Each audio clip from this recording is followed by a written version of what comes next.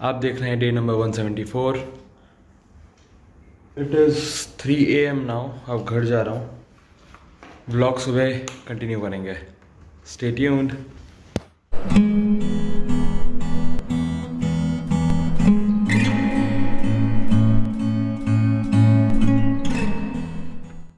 good morning guys this is me again welcome back to my YouTube channel आप देख रहे हैं day number 174 आज एक्चुअली मैं स्क्रॉल डाउन कर रहा था। मैं एक्चुअली 10 दिन लेट हो गया हूँ। गवर्नमेंट एग्ज़ाम्स और वो सब स्क्रॉल कर रहा था एंड एक नोटिफिकेशन देखा मैंने मिनिस्ट्री ऑफ़ रेलवे की तरफ़ से, जो अभी आप स्क्रीन पे देख पा रहे होंगे।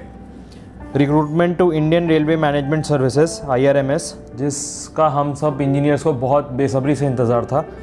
To be done a specially designed examination IRMS examination.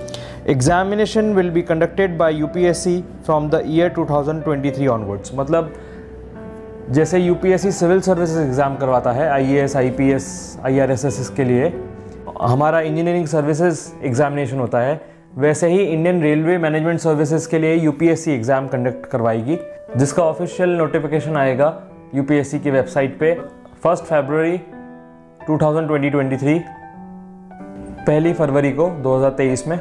अब जैसे कि आप ये लाइन देख पा रहे हैं an indent for I R M S E डेढ़ सौ numbers is being placed on U P S C इसका मतलब मैं आपको समझाऊँगा, पर आगे का नोटिफिकेशन देखते हैं। इसमें यह कहा जा रहा है कि जो ये इंडियन रेलवे मैनेजमेंट सर्विसेज़ का एग्ज़ाम होगा, ये स्पेशली डिज़ाइन किया गया है यूपीएससी के द्वारा, और 2023 से शुरू होगा ये एग्ज़ाम होना।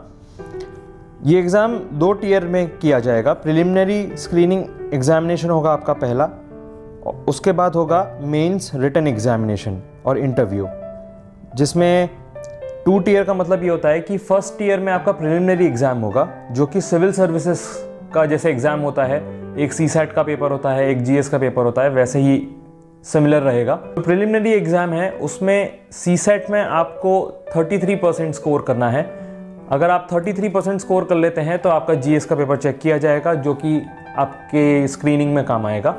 आपकी स्क्रीनिंग जीएस के पेपर के थ्रू होगी। जब आप पेपर प्रिलिमिनरी एग्ज़ाम क्रैक कर लेते हैं, उसके बाद आपको मेंस एग्जामिनेशन देना होगा। मेंस एग्जामिनेशन में चार पेपर होंगे, जो कन्वेंशनल ऐसे टाइप के हो सकते हैं सब्जेक्टिव टाइप के होंगे।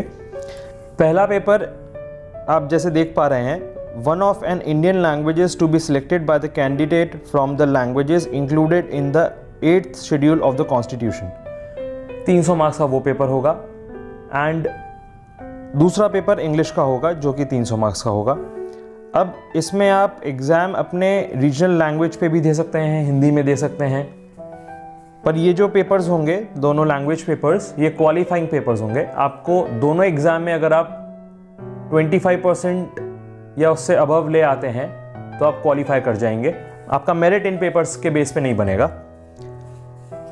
पेपर्स जो काउंट होंगे मेरिट के थ्रू उसमें दो ऑप्शनल पेपर्स आएँगे। जो बाकी के दो पेपर्स हैं, वो मेरिट के लिए काउंट किए जाएँगे। Paper one and paper two जो कि दोनों ऑप्शनल होंगे। दोनों 250 250 मार्क्स के होंगे एंड और आपको लिस्ट दिख रही होगी ऑप्शनल सब्जेक्ट्स की। Civil engineering mechanical engineering electrical engineering and commerce and accountancy मैं समझ सकता हूँ इलेक्ट्रॉनिक्स एंड टेलीकम्युनिकेशन वालों का दिल दुख रहा होगा। बट वो इलेक्ट्रिकल इंजीनियरिंग ऑप्ट करके एग्ज़ाम दे सकते हैं सो so, कोई बहुत बड़ा इशू नहीं है इसमें। एक शॉकिंग और गुड न्यूज़ हो जाएगी कॉमर्स वाले बच्चों के लिए क्योंकि UPSC Indian railway management services में आप डायरेक्टली रिक्रूट हो पाएँगे as a class one officer आप commerce and accountancy optional subject choose करते हैं और आप पेपर क्रैक कर लेते हैं तो which is really good for commerce students civil services से ये एग्ज़ाम कैसे छट जाता है, अब मैं उसकी बात करूँगा. सिविल सर्विसेज़ में अगर आप फॉर्म भरते हैं तो मैंने जैसे कि आपको बताया, जो क्वालिफाइंग पेपर होता है, जो कि आपका एक सी होगा एंड जीएस का पेपर होगा वो C S C civil services examination Indian railway management services examination के लिए दोनों के लिए सेम रहेगा। आप चाहते हैं तो आप दोनों का फॉर्म भर सकते हैं। इवन आप इंडियन फॉरेस्ट सर्विसेज़ भी भर सकते हैं। अगर आपका बैकग्राउंड है उसमें। डिफरेंस यहाँ क्रिएट होगा कि सिविल सर्विसेज़ का जब आप एग्ज़ाम भरते हैं तो आप उसमें, जैसे मैं सिविल इंजीनियर हूँ तो मैं सिविल इंजीनियरिंग ऑप्शनल सब्जेक्ट ले सकता हूँ। बट मेरे को पेपर टू में मेंस एग्जामिनेशन में जीएस के चार पेपर आएँगे। एंड uh, मेरे को ऐसे लिखना होगा and everything will be included history polity geography everything will be included in the mains paper जो कि इंडियन रेलवे मैनेजमेंट सर्विसेज़ में नहीं होगा. आपको ऑप्शनल में दो क्वालिफाइंग पेपर हैं दो लैंग्वेज पेपर हैं. आप एक अपनी चूज़ कर सकते हैं लैंग्वेज और इंग्लिश जो कि दोनों 300 300 मार्क्स के होंगे जिनमें आपको 25 परसेंट ही स्कोर करना है. आप क्वालिफाई कर जाएँगे. और जो ऑप्शनल सब्जेक्ट्स हैं ऑप्शनल सब्जेक्ट के पेपर वन पेपर टू हैं वो पेपर में आपको ऑप्शनल सब्जेक्ट आपके ब्रांच के अकॉर्डिंगली चूज़ कर रहे हैं। इंजीनियर्स के लिए कहीं फ़ायदा भी हुआ है और कई जगहों पे नुकसान भी हुआ है। मेरे हिसाब से if I am not wrong 2018 या 19 में नोटिफिकेशन आया था ई e का इंजीनियरिंग सर्विसेज़ एग्जामिनेशन का, जिसमें history polity geography etcetera economics ये सब हटा दिया गया था इंजीनियरिंग सर्विसेज़ एग्ज़ाम के सिलेबस में। बट अब ये इंडियन रेलवे मैनेजमेंट सर्विसेज़ के लिए जो एग्ज़ाम हो रहा है, इसमें आपको सब पढ़ना पड़ेगा, एक इंजीनियर को सब पढ़ना पड़ेगा। बस ये डिफरेंस हो जाएगा कि आपके लिए कंपटीशन छट गया है। आपके साथ इंजीनियर्स ही compete कर रहे होंगे। एडवांटेज ये है कि अगर आप सी e का प्रिलिमिनरी क्रैक कर लेते हैं या ये इंडियन रेलवे मैनेजमेंट सर्विसेज़ का पेपर क्रैक कर लेते हैं प्रिलिमिनरी तो आप दोनों का मेंस दे सकते हैं। आपके लिए अपॉर्चुनिटी ज़्यादा है। एक ड्रॉबैक ये है कि जैसे कि आप देख पा रहे थे, वो स्टार्टिंग में जो लाइन थी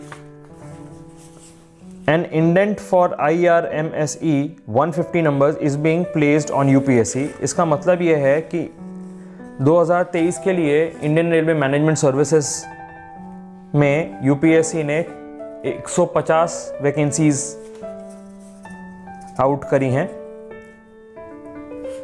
जिसमें कि 30 वैकेंसी सिविल इंजीनियरिंग के लिए हैं तीस वैकेंसी मैकेनिकल इंजीनियरिंग के लिए हैं इलेक्ट्रिकल के लिए सिक्सटी वैकेंसीज हैं और कॉमर्स एंड अकाउंटेंसी के लिए सिक्सटी वैकेंसीज हैं। इलेक्ट्रिकल में इलेक्ट्रॉनिक्स एंड टेलीकम्युनिकेशन वाले भी आ गए so thirty plus thirty equal to sixty मेरे हिसाब से ये कैलकुलेशन किया होगा यूपीएससी वालों ने। सो या डेढ़ सौ वैकेंसी हैं। आप समझ सकते हैं शायद पहला एग्ज़ाम होगा तो हो सकता है कट ऑफ़ भी कम जाए। और डिपेंड uh, करता है कुछ कह नहीं सकते अगर ज़्यादा फॉर्म फिल हो गए तो हो सकता है कट ऑफ़ ज़्यादा भी जाए क्योंकि वैकेंसी बहुत कम है। सो so, ऐसा कुछ है। अब मैं आपको इंपॉर्टेंट डेट्स के बारे में बता देता हूँ। जैसे कि मैंने आपको स्टार्टिंग में बताया था फ़र्स्ट फेबररी 2023 में को नोटिफिकेशन आएगा यूपीएससी का I R M S E के लिए एंड ट्वेंटी एट्थ मे को प्रिलिमिनरी एग्ज़ाम है। ये नोटिफिकेशन आ चुका है। जो मिनिस्ट्री ऑफ़ रेलवेज के थ्रू जो नोटिफिकेशन आया है, उसके थ्रू आप देख सकते हैं। The civil services preliminary examination 2023 schedule to be notified and held on 28 May 2023 respectively notification की डेट दी है उन्हें फ़र्स्ट फरवरी 2023 में। अब हमें इससे सिलेबस का आइडिया नहीं लग रहा है। सिलेबस के लिए आप पिछले सी के सिलेबस को रेफ़र कर सकते हैं अभी तो। और बहुत ज़्यादा टाइम नहीं है तो आप शुरू भी कर सकते हैं अपनी तैयारी। अपना टेक्निकल स्ट्रॉन्ग करिए। मैं सिलेबस पे भी एक ब्लॉग बना दूँगा। और आपके कोई भी डाउट हो तो आप कमेंट सेक्शन में पूछ सकते हैं। मैं बिल्कुल कोशिश करूँगा कि सारे आपके डाउट्स क्लियर करूँ इसके रिगार्डिंग इंजीनियर्स के लिए तो हेल्पफुल है ही, पर कॉमर्स वालों के लिए भी बहुत अच्छी अपॉर्चुनिटी है। अगर आपने बी किया हुआ है, आप डेफिनेटली ये फॉर्म भरें, तैयारी करें। यू नेवर नो आपको आज का ब्लॉग कैसा लगा? अगर इन्फॉर्मेटिव लगा तो kindly let me know comment down below subscribe to the channel see you in the next blog bye bye